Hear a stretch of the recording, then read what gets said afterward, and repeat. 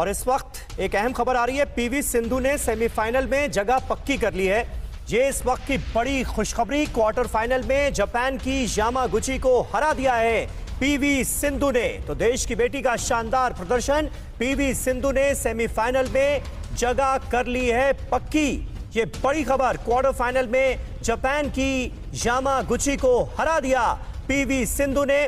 Tokyo Olympic से ये एक और बड़ी खुशखबरी पीवी सिंधु ने अपना मुकाबला जीत लिया है। आगे अब सेमीफाइनल मुकाबला होगा और उसके बाद अगर वो जीत जाती हैं तो निश्चित तौर पर हम जानते हैं कि वो फाइनल में जाएँगी यानी वो दावेदार हो जाएँगी गोल्ड मेडल या फिर सिल्वर मेडल की। और अगर वो सेमीफाइनल में हार जाती हैं तो फिर ब्रॉन्ज मेडल के लिए यानी तीसरे पायदान के लिए एक मैच होगा।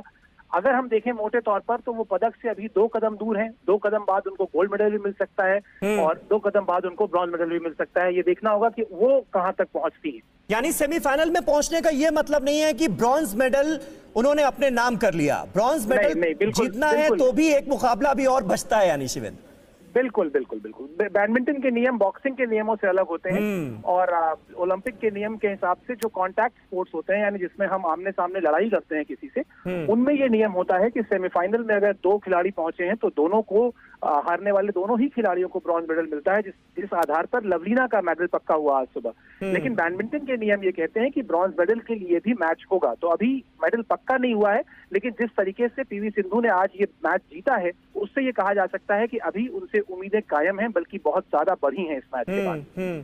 जापान की यामागुची को उन्होंने हराया मुकाबला कैसा रहा?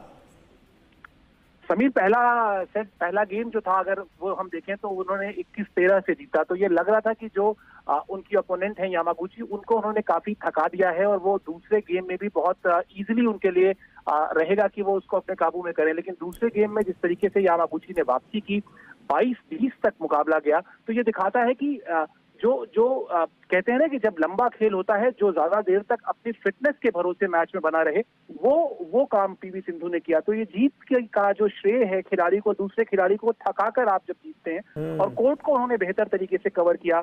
आ, दूसरे गेम में हमने देखा कि यामागुची कई बार ऐसा लगा कि वो फ्रस्ट्रेशन में आ रही है और जानबूझकर उनसे गलतियाँ हो रही हैं। तो इस तरह की चीज़ें देखने को मिली। इसीलिए ये कहा जा रहा है कि जो आने वाले मैचेस हैं, उसमें अभी पीवी सिंधु से इस इतिहास को रचने की उम्मीद रखनी चाहिए कि पिछले ओलंपिक्स में भी वो सिल्वर मेडलिस्ट थी और ख्वाब हर ओलंपियन का यही होता है कि अगर वो अपने मेडल का रंग बदले तो अगर उम्मीद रखनी चाहिए कि वो अपने मेडल का रंग बदलने में सफल होंगी और ऐसी शुभकामनाएँ भी देनी चाहिए उनको।